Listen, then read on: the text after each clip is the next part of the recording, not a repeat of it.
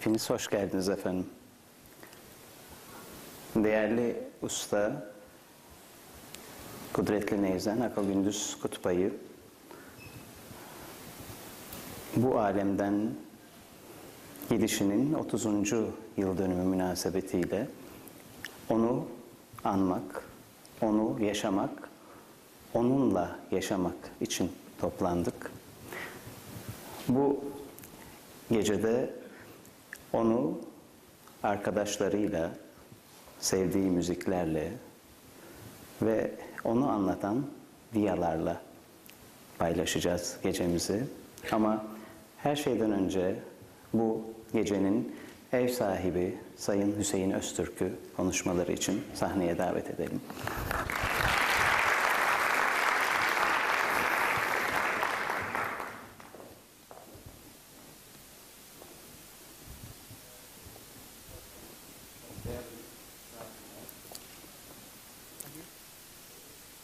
Ses.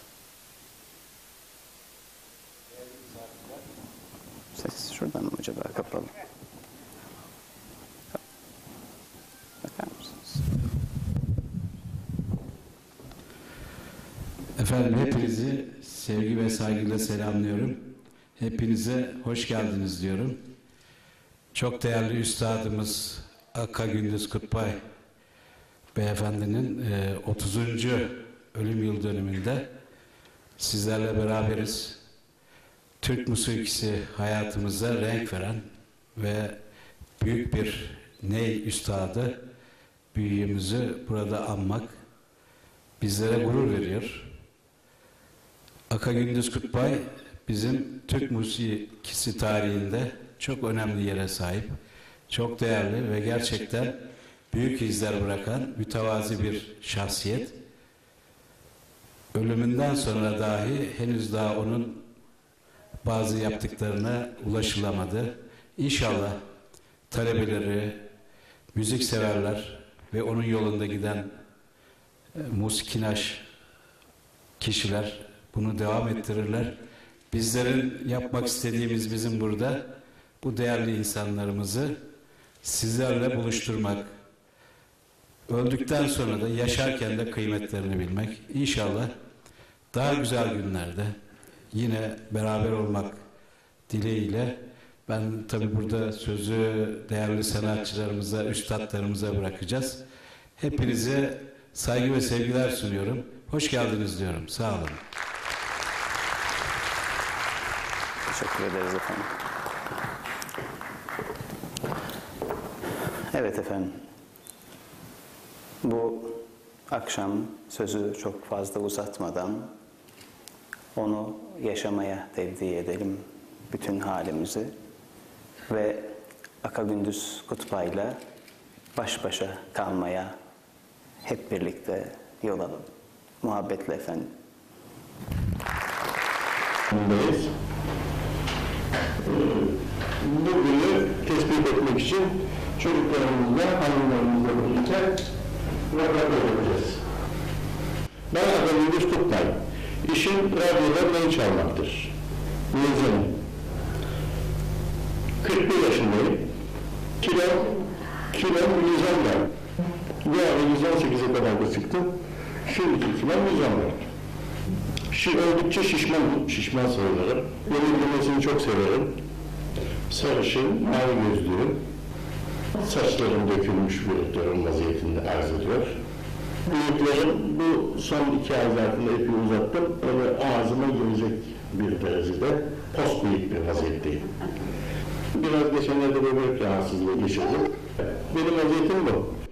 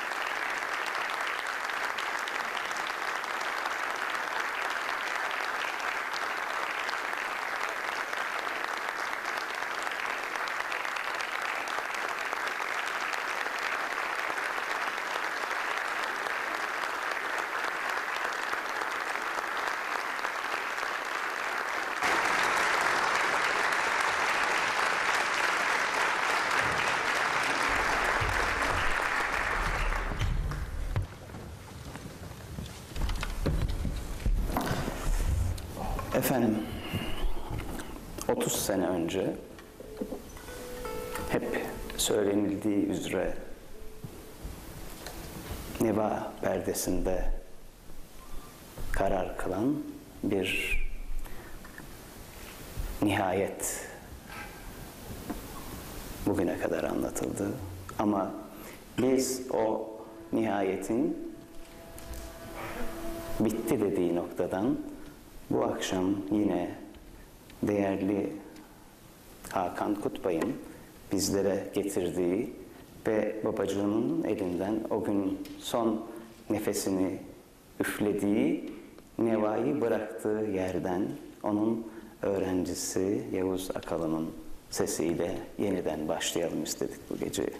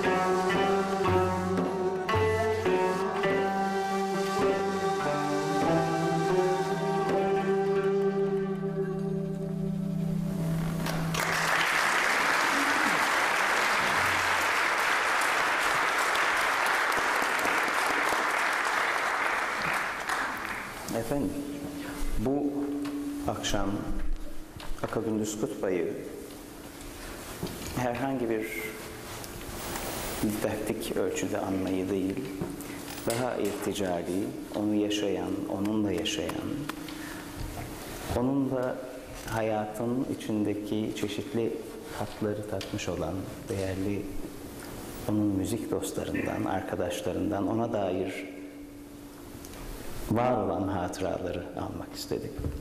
Sayın Nihat Doğu hocamızdan eee, hem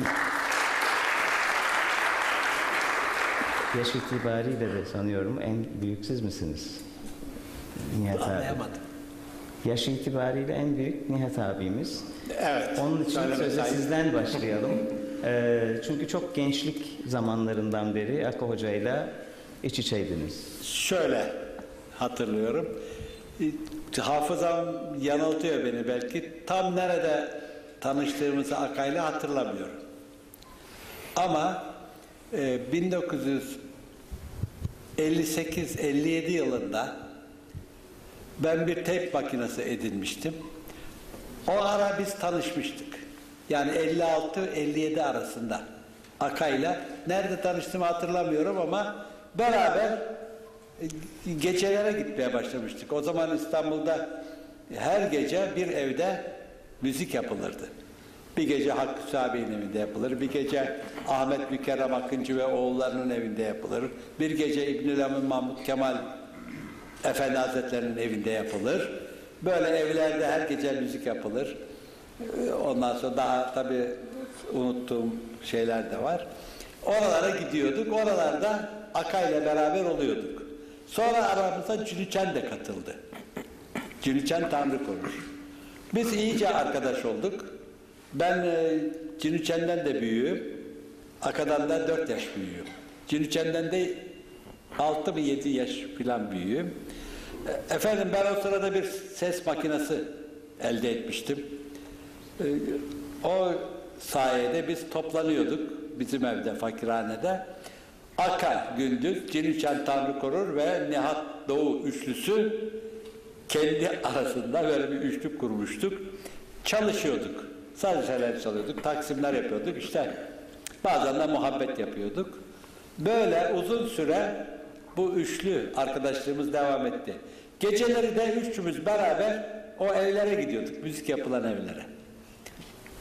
Şöyle, e, Cinüçen Tanrı Korur o zaman liseyi bitirmişti. İtalyan Lisesi'nin son sınıftaydı. Birinci e, sınıfa üniversiteye gidiyordu. Aka Gündüz askerlikten tabii terhis olmuş 2-3 sene olmuş.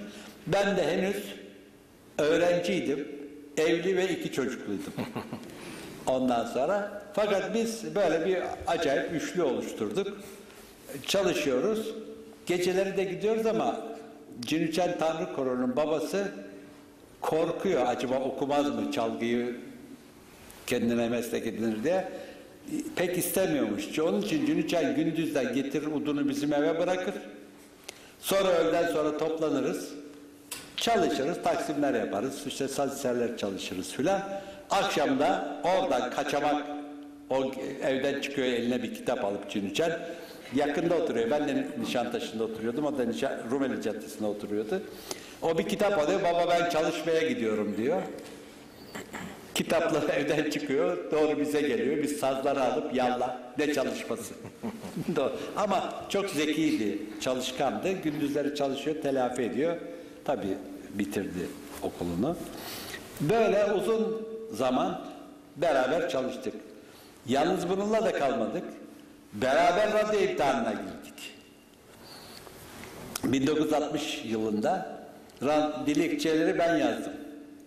Akay'a da kendime de bir dilekçe yazdık verdik. 59 yılında, 60 yılında imtihan dediler. Biz o sırada Aka Gündüz'le turnedeydik Tülün Korman Hanım efendiyle.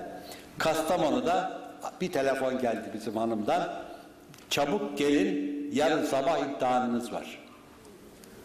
Aka bozuldu. Akşam olmuş. Vasıta o zaman şimdiki bol değil. Oradan neyse bindik geldik. Sabahleyin imtihana girdik. 1600 civarında şey vardı. Müracaat. İmtihanda müracaat vardı. Beş kişi kazandı. O beş kişinin üçü bahtiyarlıkla söyleyebilirim. Aka Gündüz Kutbay, Nihat Doğu, Cilüçen Tanrı korurdu. İki kişi de teşekkür ederim. Zor bir imtihandı. Ben hayatımda öyle bir imtihan görmedim. Fakülte ayıp söylemesi. Hukuk fakültesini bitirdim. O kadar çile çekmedim. Hiçbir imtihanda. Zordu. Mümeyyiz heyeti 10 kişi filandı. Hatırladıklarım işte Halil Bedi'yi yönetirken Mesut Bey, benim hocam kemençe üstadı Kemal Niyazi Seyhun. Ondan sonra Udiler vardı. Cevdet Kozanoğlu vardı zannediyorum. Tonmeister'imizde bunu da rahmet dilemeden geçemeyeceğim. Tonmeister'de imtihanın Orhan Veli'nin babası Veli Kanık'tı. Bugünkü gibi hatırlıyorum. Çok kibar bir adamdı. Geldi bize Tonmeister'lik yaptı. Beni imtihanda sualleri soran da Mesut Cemil Bey'di. Rahmetli. Bizi o imtihan etti. Üç kişi biz kazandık. iki kişi de daha kazanmış. Onlardan biri de Allah rahmet eylesin geçen hafta vefat etti. Nursal Ünsal Kemani. Bir tanesi de Cevdet Çağla'nın e, beraber çalıştığı vaktiyle aynı grupta müzik yaptı. Naibe İspahi. Kanuni arkadaşım söylüyorum. Darut Talim Muski'de. Darut Talimi Musiki'den Naibe İspahi Hanım. Babası da meşhur kanuni. Aman Aman, Nazım. Nazım'ın kızı. O kazandı imtihanı. Beş kişi kazandık. Beş kişi de şey aldılar. Solist aldılar. Onlardan ikisini hatırlıyorum. Oku, okuyanlardan bir tanesi Tülin Yakarçelik hanımefendi. Dünya ahiret kardeşim olsun. Çok severim. Burada mı bilmiyorum. Ona Tülin Yakarçelik. Öbürü de e, Alaaddin Şensoy zannederim. Öbür üç kişiyi de hatırlamıyorum.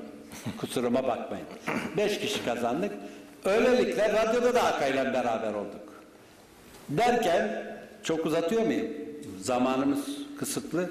Dinliyoruz. Sen işaret et. Ondan sonra e, derken Konya'ya gitmeye başladık. Mevlevi ekibiyle beni aldılar. Allah razı olsun. Doğa Ergin, Aka Gündüz, Ulve abimiz rahmetli. Ulve Ergüner. E Konya'da da beraber olduk. E biz bütün gün beraberiz. E tabi böyle beraberliklerde iyi anılar olur.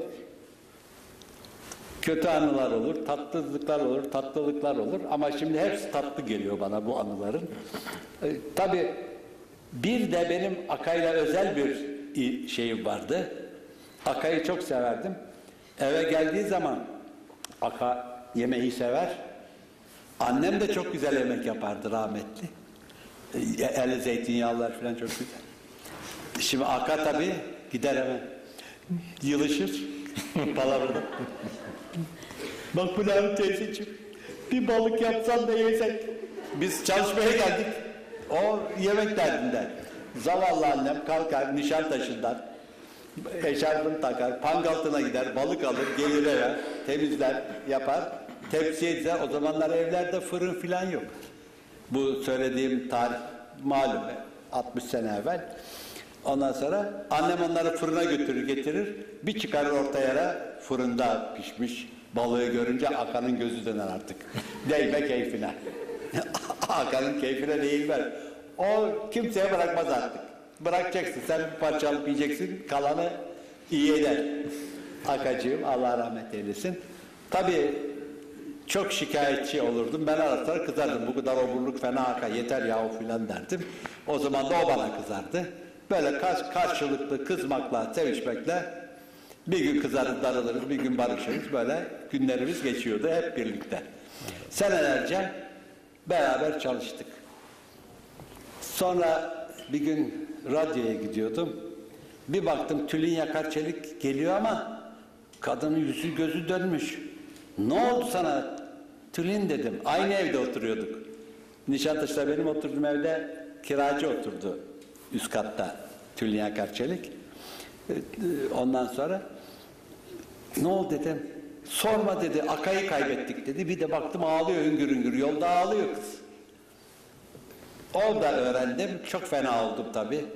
Yapılacak bir şey yok. Allah rahmet eylesin. Ama çok güzel günlerimiz oldu. Bir özel anım daha var. Onu anlatayım susayım. Değil mi? Turne yapıyorduk Tülin Kolman'la. İzmir'e gittik. Turne bitti. Herkes İstanbul'a dönecek. Aka sordu, ne yapacağım, ne yapacaksın sen? Vallahi dedim benim burada akrabalarım var. Gideceğim biraz dinleneceğim. Tatil yapacağım. Ne olur beni de götür dedi. İyi ama masrafın falan aka para tutmaz. Aka oldu mu yer. Kaç paran var dedim. 150 liram var dedi. Sende kaç para var dedi. E bende de 350 lira var dedim. Ben ondan tutumluyum biraz. Ondan sonra iyi ama dedim bak benden geliyorsun şey yapma hesaplı gitmezsek kalırız buralarda. Ben onu korkutuyorum yoksa ben akrabalardan alırım. Dayım filan var burada teyzelerim var ama onun bilmesini istemiyorum yoksa baş edemem. Akacığım kalktık gittik. Selçuk'ta Pamucak diye bir yer var. Çardaklar yapmışlar. Oradan bize işte biz bekar sayılıyoruz. Ben evliyim ama bekar sayıldığımız için orada bize kahve ocağının yanında bir çardak verdiler. Bacanağım vardı Allah rahmet eylesin. O da bo- bostan ekmiş. Getirdi bize iki çuval bostan. Bir kilo, bir buçuk kilo tulum peyniri. Ondan sonra karar verdik perhiz yapacağız. Şişmanız ya. Hakikaten perhiz yaptık. 15 gün orada çok güzel bir tatil yaptık Aka günümüzde. O 9 kilo ben 7 kilo zayıfladım kendimize geldik. Tabii dönüşte tekrar aldık o kiloları. Hayatımızda tartışmadığımız, çekişmediğimiz, birbirimize iğneli laflar söylemediğimiz tek 17 gün olur. Onun dışında takışırdık hep. De- huylarımız benzemez. Ben mesela acul bir insanım. Hala öyleyim. Geçen gün telaştan düştüm daha ölüyordum. Kırdım gözümü oramı buramı. Biraz telaşıcıyım. Akacım da rahmetli inadına ağırdan alır işleri. Sallatla. E, Hadi Nihat'ta abicim bir sinemaya gidelim der. Giderim evinden alırım saat 9 matinesine 7'de giderim saat 10'da sinemaya zor gireriz. Şimdi bu beni çıldırtır. Çıldırınca da ben bir laf söylerim. Bu lafı söyleyince o da Nemrut herif gene konuşma der. İşte hadi bakalım bizde bir soğukluk olur. Tabii ertesi gün radyoya girince onlar çoktan unutulmuştur. Biz gene ha hi. Böyle geçti günlerimiz. Çok güzel günlerimiz oldu. Çok büyük sanatçı tabii. Onun sanatından dolayı seviyorum. Ne yaparsa yapsın kızamıyorum.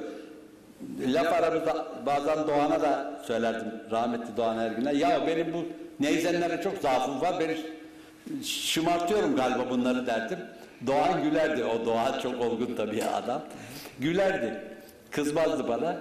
A Doğancım derdim ya bu neyzenlere zaafım nedir? Neyi, neyi sevdiğim için mi oluyor ne bilmiyorum derdim. Böyle de şakalaşırdık. Akay'la böyle günlerimiz Çok geçti. teşekkür ederiz. Var- Yani e, 66 şey 56 yılında filan başladı. Ha Layıka Karabey'in korosunda da beraber saz eserleri çalıyorduk. Daha unuttuğum bir sürü etkinlikler hep beraber yaptık. E, Günümüzün hemen hemen o zamanlar dörtte üçü Akay'la ve Cilçen'de beraber geçiyordu. Çok teşekkür ederiz. Çok uzun anlatabilirim ama tabii çenem açıldı mı durmuyor. Çok teşekkür ederiz. Ee, şimdi e, hep söze boğmayalım. Ee, Mini Putandı'dan Hakkı Hoca'nın sevdiği bir eseri alalım, ee, dinleyelim. Hangi eseri okuyacağımızı sen söyle.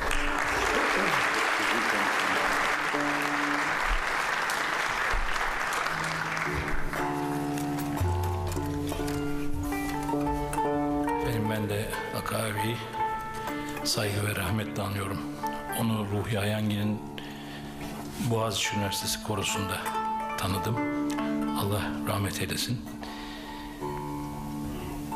Rahmi Bey'in bir eseri. Sözleri güfte Recaizade Ekrem'e ait bir mersiye. Gül hazin, sümbül perişan, bazarın şevk yok.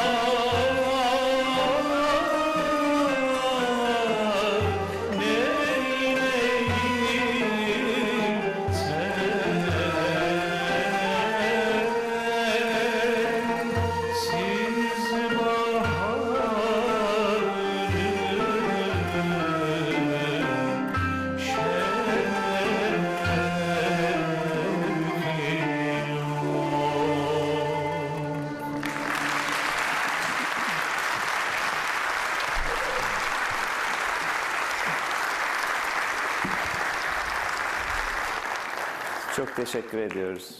Var ol Münip'ciğim. Evet, Havlucuoğlu'nda bir evde başlayan bir hayat. Sonra kırık dökük ilerlerken okula karşı heveskarlığının olmayışı, babanın biraz onu ceza, cezalandırmak için onu bir kunduracı çırağının yanına o mesleği öğrenmesi için vermesi ve bu süreçte aslında belli noktalarda o ana kadar hissedilmediği kadar içten müziğe karşı duyduğu sevginin ondaki aksinin ortaya çıkması ve kunduracı çıraklığından Gavsi Hoca'ya öğrenci gitmesi. Bu konudan sonraki dönemi sizden alalım mı Abdi abi? Efendim evvela Akay'a Allah rahmet eylesin. Allah'ın rahmeti onun üzerine olsun inşallah. Kulakları çınlasın. Niyazi abi, Niyazi Sayın Mesut Bey'den Tamburi Cemil Bey için şunu duydum der. Niyazi demiş Mesut Bey. Babamın ahlakı tamburunun önündeydi demiş. Tamburunu herkes biliyor ne olduğunu. Babamın ahlakı tamburundan iyiydi demiş. Aka ahlaklı bir adamdı. Aka ahlaklı bir adamdı. Bu da çok şahidi vardır. Yalnız ben söylemiyorum. Efendim, eee çok uzun seneler beraber olduk. Onunla yani kardeş gibiydik. Edi büdüydük. O böyle cüsseli, kilolu, 120 kilo. Ben ufak tefek 60 kilo. Edi ile büdüye benzetirlerdi bizi ama çok böyle bir kardeş gibi yani 20 yıl kadar bir süreyi geçirdik. Benim kollarımda son nefesini verdi. Allah gani gani rahmet eylesin. Onun için çok şeyler söylenmiştir. Yemesi, içmesi, musikisi, efendime söyleyeyim, inanışı hakkında. Ben inançlı olduğuna çok şahidim Akan'ın. Dindar mıydı, dinci miydi? Artık karıştı birbirine o işler. Şimdi onu bilemiyorum. Allah bilir. Efendim.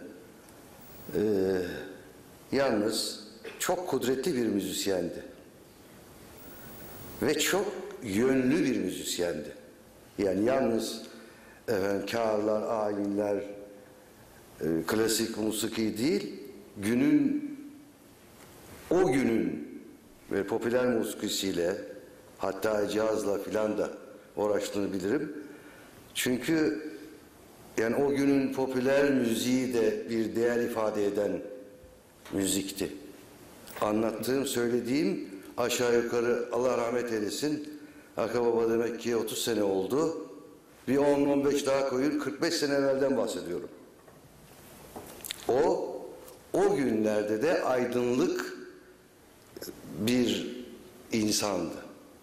Aydın bir aydın ve aydınlık bir insandı.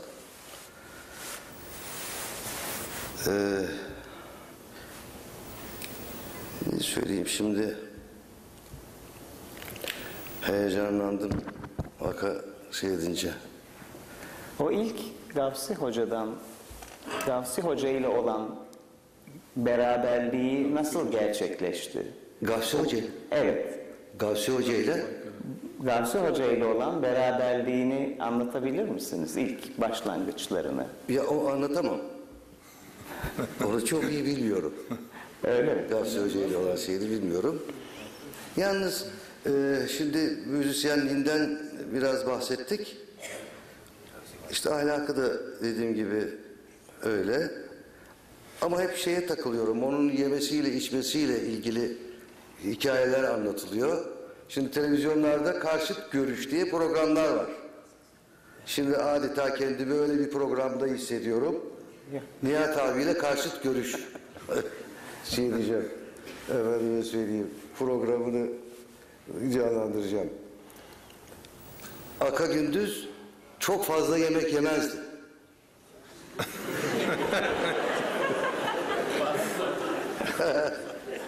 Aka Gündüz çok fazla yemek yemez. Aka Gündüz yalnız tek çeşit yerdi. Aynı çeşitten 3-4 tabak yediği için o çok yemiş gibi görünürdü. Yemezdi. Mesela e, elinde bir şeyler paketler sendik odasına gider radyodaki sendik odasına küçük bir paket vardı elinde. Bak derdi şeyde bir kuş gömü şeyi buldum pastırma buldum. Ondan sonra gel bir tane ye. Yok ya ben yemeyeyim şimdi ben memurum.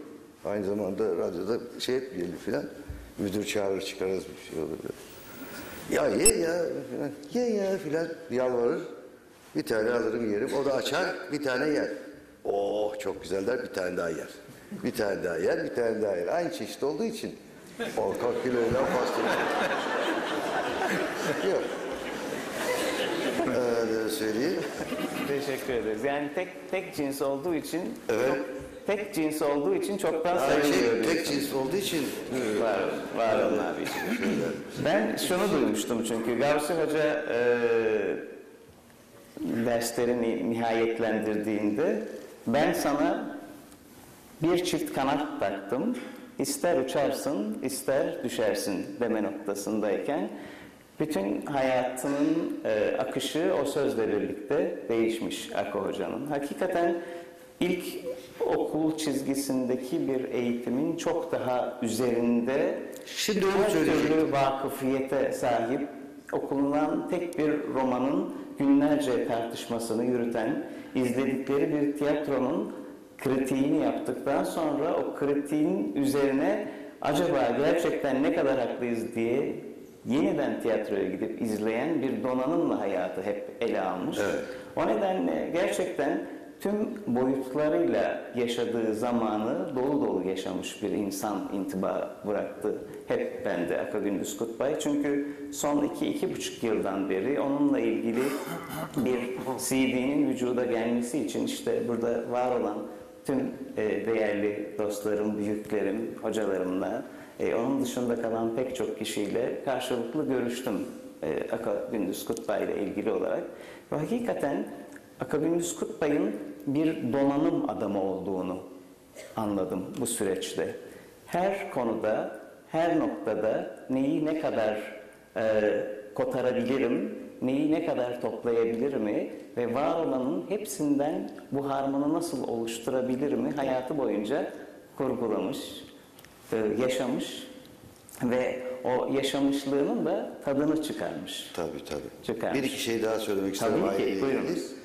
Şimdi biz ondan e, ailece çok yakındık. Efendim. Evlerimiz de çok yakındı birbirine. E, çok beraberdik. Öyle beraberdik ki yani e, telefonu açar gecenin sabaha karşı mesela açar telefonu açar Nazı da çok geçerdi bana. Benim de ona çok geçerdi. Arkadaşlar bilirler. Ay ya uyandırdın mı? Yo uyandırmadın. Ben uykuda konuşuyorum derdim ben. Evet. Hay Allah yahu.